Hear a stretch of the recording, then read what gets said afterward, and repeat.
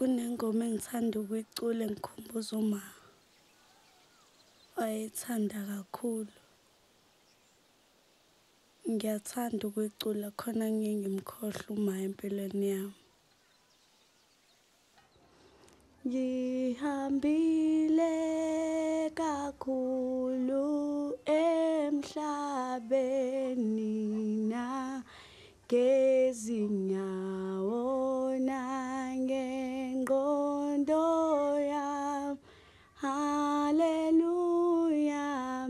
sengiyafuna ukuya ngale endaweni lapho. Igama lami nguSilindile Moyo neminyaka ewu-12. Ngihlala nezinye iy'ngane eziwu-25 ekhaya elibizwa nge-Agape.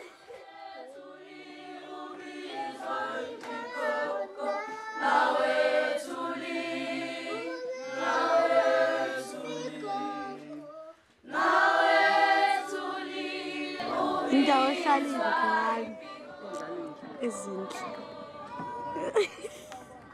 Okay, indawo ehlala iy'ngane.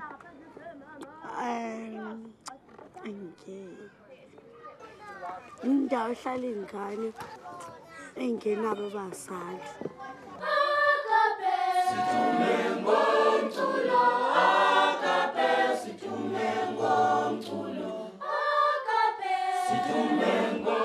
Sicula kakhulu manje ngoba se-England ukuze sithole imali yokukhulisa i-Agape. ngoba ekuhambeni kwesikhathi kuye kwashona uma la ekhaya shuthi usilindile wayefunda ugrade two wafeyila usilindile ngaleso sikhathi kushona uma kujuni Sicula zonke iy'nsuku uma sibuya esikoleni. Ezinye uma y'khuluma zakhuluma ngokuthi Agape khona ingane ey'culayo.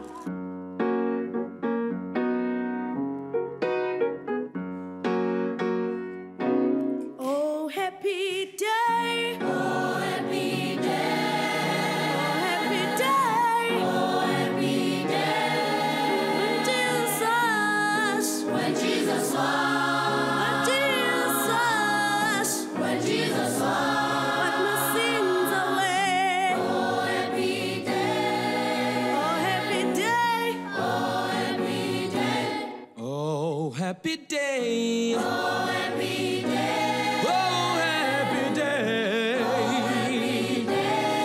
When Jesus won. When Jesus won. When Jesus. When Jesus. When Jesus. He washed my sins away. Oh,